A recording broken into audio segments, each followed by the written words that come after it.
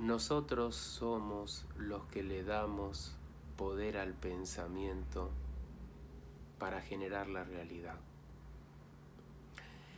Cuando las personas entran en el, busco, en el mundo perdón, de la magia, de la alquimia, para transformar la realidad, las personas dicen voy a hacer tal ritual, voy a utilizar tal herramienta, voy a utilizar tal visualización, voy a utilizar la ley de atracción y todo eso está muy bien. Pero ¿a qué pensamiento tú le das poder a lo largo del día en tu mente? Porque ahí también está la clave. Supongamos una cosa, yo podría hacer un ritual de limpieza para traer la prosperidad, como lo hacemos el 100% de las personas que hacemos el trabajo que hago yo. Podría aplicar la ley de atracción y podría hacer una meditación para traer la prosperidad. Supongamos que hago todo eso, pero en mi mente se, se instala o, o yo alimento pensamiento que tiene baja vibración. Pensamiento egoísta, pensamiento de rencor, de venganza, de enojo, de culpa, de falta de merecimiento, porque quizá toda la vida nunca me han amado, entonces yo siento que no voy a ser nunca amado. Todo ese pensamiento al cual yo le doy poder porque me aferro a ese pensamiento, porque va a ser inevitable que los seres humanos no tengamos algo de pensamiento que calificamos como negativo en la mente. Nadie piensa todo, todo el día ni a cada momento en el amor, en Dios, y, en una vibración alta, salvo que tú seas Jesús o seas Buda o seas una, un maestro espiritual elevadísimo.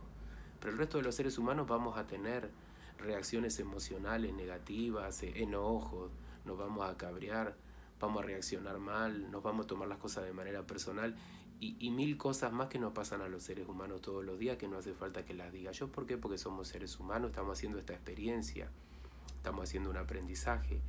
Ahora, si tú al pensamiento que surge en tu mente en este momento, alguien te hizo daño, el daño que sea, un amigo, un compañero de trabajo, una novia, tu esposo, tu novio, tú te aferras a ese pensamiento y empiezas, porque me hizo esto, si, si yo me comporté bien con él, si él eh, me prometió que iba a hacer las cosas bien, que me iba a amar y después no me amó, empezamos con todo ese rollo mental y a un simple pensamiento que surgió en la mente le damos toda la fuerza y resulta que nos abrazamos un pensamiento negativo.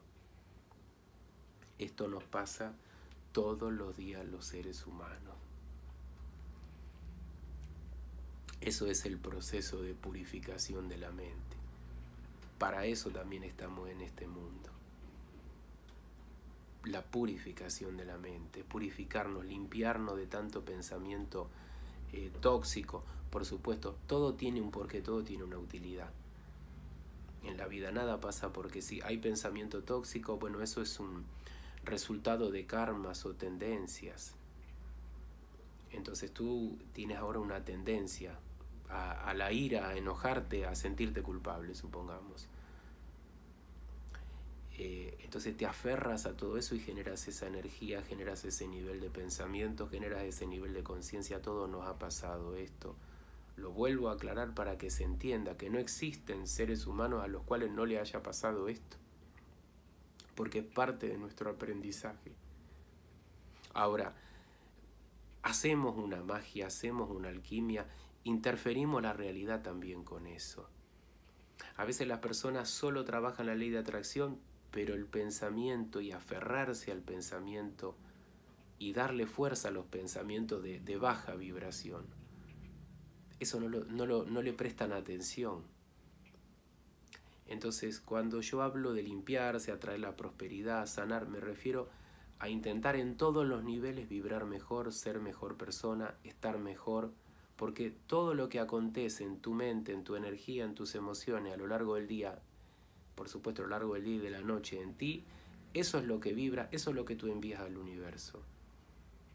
Y, vas, a, vas, a, recibir el, el reflejo de eso. Como castigo, Rodrigo, no, son aprendizajes. Lo que pasa en tu vida es lo que tiene que pasar, aunque mucha gente diga, no puede ser, Rodrigo, pero si las cosas están jodidas en mi vida, ¿cómo Dios va a querer que se joda mi vida? Los aprendizajes son muy difíciles de hacer. A veces, a veces nos explican todo de una manera simple y no lo podemos entender. Entonces necesitamos experimentar de una manera extrema, caótica, intensa y negativa quizá para poder hacer un aprendizaje. Disculpen si, si no es una cosa fácil de explicar, estoy intentando explicarlo de manera eh, sencilla. Si vos en tu mente alimentás los pensamientos de la venganza, vos le estás dando fuerza a la venganza. Y resulta que cinco minutos durante el día decís yo quiero atraer el amor a mi vida, la prosperidad, quiero ser feliz, me merezco la felicidad. Pero resulta que tres horas quedas atrapada en la venganza. Entonces le estás dando poder a eso. Es como si estuvieras haciendo un ritual mágico donde vos estás alimentando el, lado más oscuro tuyo.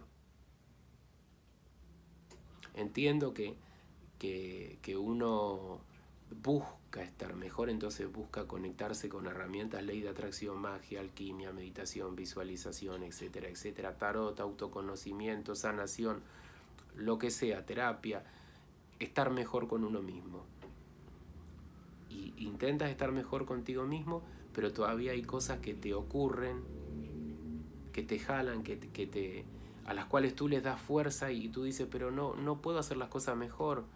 Paciencia, paciencia con usted mismo.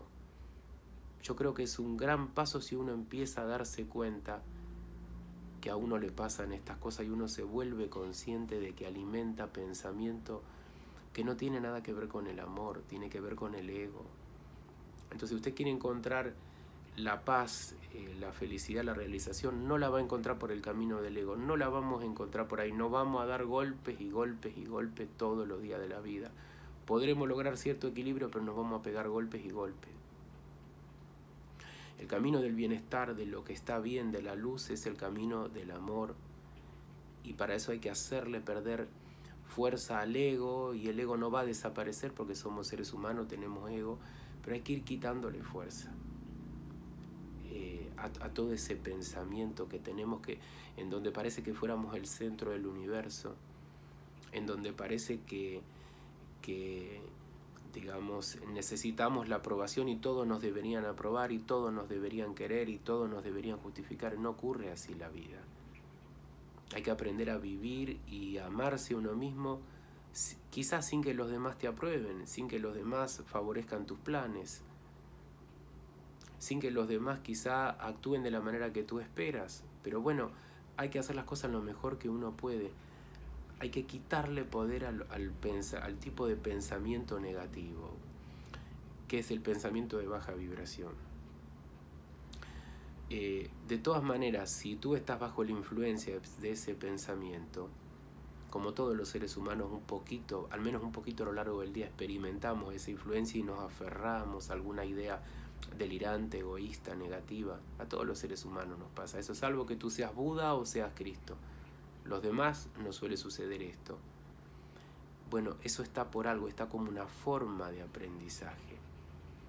A veces para aprender el perdón, la paciencia, la tolerancia hacia uno mismo, el tolerar que uno se equivoque una, dos, tres, cuatro, cinco veces y a pesar de que tú te equivocas, tú te das amor. Cuando no, no está ese aprendizaje hecho, tú te equivocas una y otra y otra vez y te sientes cada vez más culpable y te castigas y te jodes y te deprimes. Hay que aprender de todo eso. No sé, e, ese es el sentido de este video.